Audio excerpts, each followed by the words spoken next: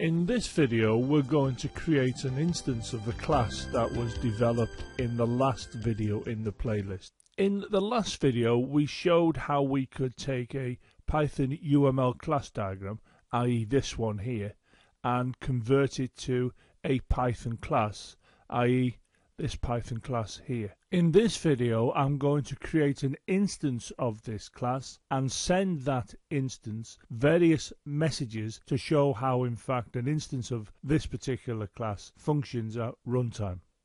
Well here we can see the actual class again and down here I've created an instance of the class and I'm sending various messages. Over here we're going to view the runtime of this particular program as I explain what happens one line at a time. This is the first line of code that will execute. And when this line executes, what we're going to get is an instance of the account class created. And I'm showing that instance here as this circular shape which you will have seen in all my previous videos when I've been discussing objects. So this is the instance of this particular class, in other words the object of this class. Now we need to ask ourselves what will this object have? Well the first thing we're interested in is what's its name, what's its identifier. And of course if we come over here and look at the code we can see that this is saying customer is assigned the instance. So the name of this particular instance, this particular object, will be customer, as we can see here. Now this object is based on the class. The class is the template for this particular object. So for want of a better word, what's in this object? Well, let's have a look. The first thing we can see is we're going to have the initialization method because we can see that that was declared here in the class, consequently it'll be here within the object. The other thing we can see, if we look at the initialization method, is we have self.balance and self.name declared inside this particular method, the double underscore init double underscore method. So on my diagram of the object, I'm going to show self.balance and self.name appearing here and here. Going on, we can now say, well, what else does the object have? Well, let's have a look at this method here, defined within the class. It's the credit method. Consequently, the object will also have that credit method, as you can see. Then we can see we've got the debit method in the class, and that will appear in the instance of the class, as you can see here. Going on, we've got the get balance method, and of course that's going to appear within the object here. Then we have the get name method and that's going to appear within the object here. And finally we can see we have the set name method and that's going to appear within the object here. So when we create the instance of this class what will happen is the instance will have everything that was defined within the class as illustrated here when this line executes, it will set up the object as we've seen. The next thing to happen is this method will execute the initialization method as it appears here in the class. And we can see if we look closely at the initialization method, it has three parameters. It has self, balance, and name. If we come down here, we can see we only have two parameters. But that's because if you remember from previous videos, when we create an instance, the ID of the instance, the ID of the object, is passed to self. So this zero here will be passed to balance. And this Rita Jones will be passed to name. And of course, when zero appears here, we can see the zero is assigned to self.balance. And I'm showing that on the diagram appearing here. This Rita Jones, which is passed a name, we can see is used here in the code, and that is assigned to self.name, as we can see here within the animation. The next program statement to execute is this one here, and we can see that it is in fact a print statement. And within the print statement, we have two messages. There's one here and there's one here. Let me just remind you of the object. This is the object, and we can see it has this name, customer. If we come back to this particular message here, we can see that it has the word customer here, which means that's the object to which we're sending the message. Then we have the dot, then we have get name. Now what that means is that this message is going to invoke this particular method here, which we can see defined within the class at this point. And if we have a look at what this particular method is doing, it's returning this variable. Consequently, what will happen is that this method will get hold of this particular variable's content, Rita Jones, and it'll return it to this position here within the print statement. Then, of course, what we can see, we have this literal string has a balance of, and that will be output as well to the runtime. Then we come on to this, which is the message, and we can see that the message is going to the customer object. Here's our full stop, and then we're going to get the get balance method invoked which is this one as you can see it in the diagram. Now that method has been defined here within the class and we can see it's going to return this variable here which is the self.balance which we can show here within our diagram. And of course that zero is returned to this position in the print statement. Consequently, when we look at the runtime for this particular statement, we can see it here. So this message has been responsible for getting that Rita Jones and putting it here. This literal string is placed here in the output and of course this method has been responsible for gaining access to the zero and placing that zero here. Before we move on to the next program statement let me just remind you as to the purpose of the self parameter. If you look at this message we know we're going to be invoking this method here the get underscore name method and if you look at these brackets you can see there is no parameter Whereas if we go to the definition of the get underscore name method in the class as shown here, you can see it is expecting to take a parameter and that parameter is being named self. But here we've no parameter being passed to it. Now remember, this particular message here generates an ID and that ID is passed to here. Now, what is that ID? Well, it's the identification number for the object, i.e. this object here.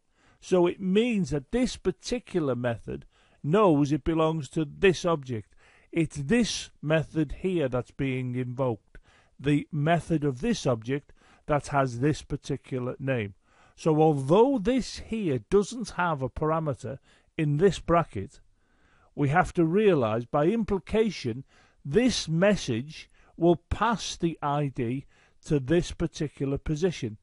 That allows this variable here to have self in front of it, which means that it's getting at the instance variable for this object, which we're showing in the diagram in the middle here. This is the next program statement to execute, and you can see it is a message. It's a message to this object that's going to invoke this particular credit method. And if we have a look here, you can see it's taking with it an actual parameter of 100, which we often also call the argument. So this particular 100 is going to be passed to here within this method. So the credit is going to receive 100. And that 100, if we go and have a look at the definition in the class, appears at this position and we can see it's used here in the code. So that 100 is going to be added to what the current balance is. And of course the current balance is zero. So we're going to get a result of 100 which is going to be assigned to self.balance and if we have a look at the diagram you can see that I'm showing that as this particular variable being changed from the 0 to the 100 and as an aside, just to remind you again of self, here we can see we've got two parameters, self and deposit, whereas down here you can see I'm only passing one parameter in. because by implication, this particular message here passes to self the ID of this object, of this particular instance. This is the next program statement that's going to execute. And if you have a close look at it, you should see it is exactly the same as this program statement here. However, when this statement executes, the state of the object, if we have a look at it, has changed.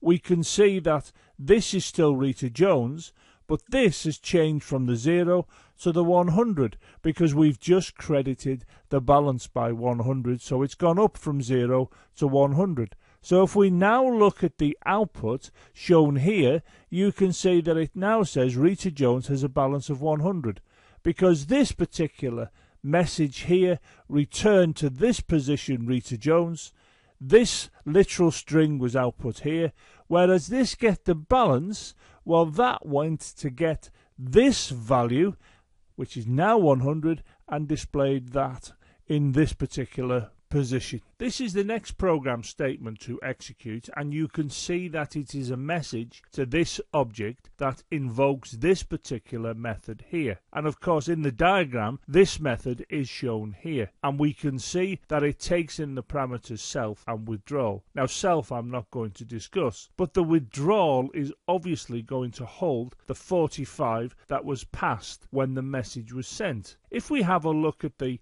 method as it's defined in the class here, we can see that that particular value of 45 is used here in the code and it's subtracted from the balance, which is currently 100, and of course it's then assigned to the balance. Consequently, if we look to the diagram of the object, we can see that that gets changed to 55 because 100 minus 45 is clearly 55.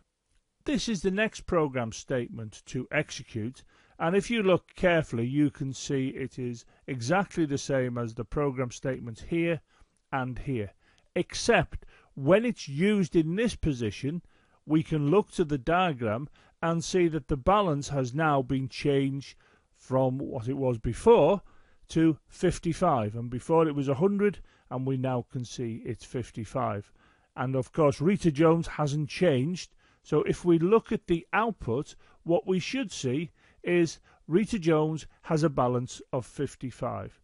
And this message was responsible for putting the Rita Jones here, together with the assistance of the print statements, obviously. And this literal string is placed here. And this is a message that will go and get the balance, which we can see now is 55. And that 55 is displayed here. This program statement now executes and we can see it is a message to this object that invokes this particular method here. And in brackets we can see that the method has this parameter Rita Hartley.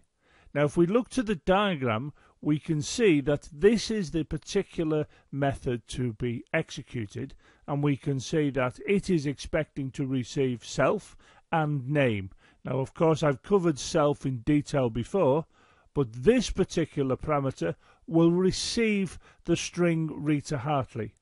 If we have a look at the code as defined within the class, here we can see that the Rita Hartley is passed to this particular parameter. The value of the parameter is used here, and that is assigned to this particular variable. Now, if we have a look at that variable in the diagram, we can see that it currently says Rita Jones. But of course, this program statement will change it to the new value of Rita Hartley. So if we go back to the diagram and look in this position, you should see that the Rita Jones is replaced with Rita Hartley. So this object has had this particular state altered, as you can see and it was altered using this particular method here which is an example of a setter method. This is the next program statement to execute and of course if you look at it you will note that you've seen this statement three times before. What is happening now however is that when we go and use this message to get the name the name will have been changed by the previous program statement, i.e. this one here, to Rita Hartley. So if I look to the output, we can see that we have Rita Hartley displayed instead of Rita Jones. And of course, the next bit is has a balance of 55 because the 55 is there because the previous line didn't change that value. It didn't change that state. It just changed the self.name. If we therefore consider what we've done here, we've coded this account class and these program statements have shown that it performs the tasks that I'm expecting. Now, what do I do with this code? Well, I was just using that to show that an instance of this performs in the way in which I was expecting. So this particular class now becomes useful for me to use in a software system somewhere. Obviously, this is a teaching video and it's not that useful, but this is how we develop classes. You develop the class and then you test it to see if all of the methods you've defined in the class work when they are instances of the class. And bear in mind, object-oriented programming is about creating the class in code, creating an instance of that class, and using that instance, i.e. using the object. Check out the supporting website for these videos in addition, why not follow me on Twitter as I issue a tweet every time I upload a new video?